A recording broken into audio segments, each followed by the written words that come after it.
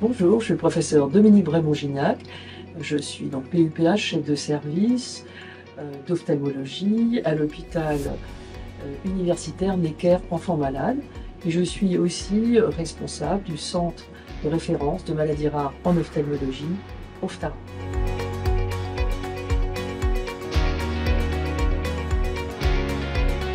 Alors j'utilise la plateforme Connect Santé depuis euh, novembre 2022.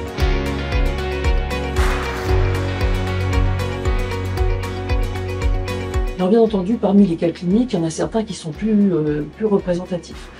Et euh, on a vu par exemple un ophtalmologiste qui nous a adressé un petit patient qui avait une cataracte congénitale le temps d'envoyer son courrier via la secrétaire, de l'envoyer euh, via l'hôpital, que ça nous arrive à l'hôpital, il a eu, il s'est passé quasiment un mois. Heureusement, on a pu récupérer, euh, bien entendu, il n'y a pas eu d'impact direct, mais un mois, ça peut être très très important. Euh, sur une cataracte congénitale, ça peut malheureusement entraîner un handicap visuel plus important si la prise en charge n'est pas suffisamment précoce. Dans ce cas, on a réussi à récupérer rapidement et ça nous a permis de, soigner, d'opérer l'enfant euh, vite.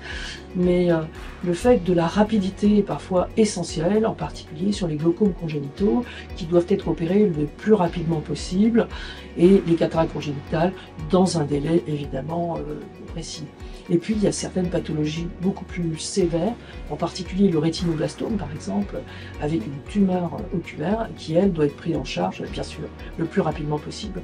Donc tous ces éléments font que la rapidité et la simplicité d'accès vont être un, point essentiel pour la, je dirais, pour la plateforme.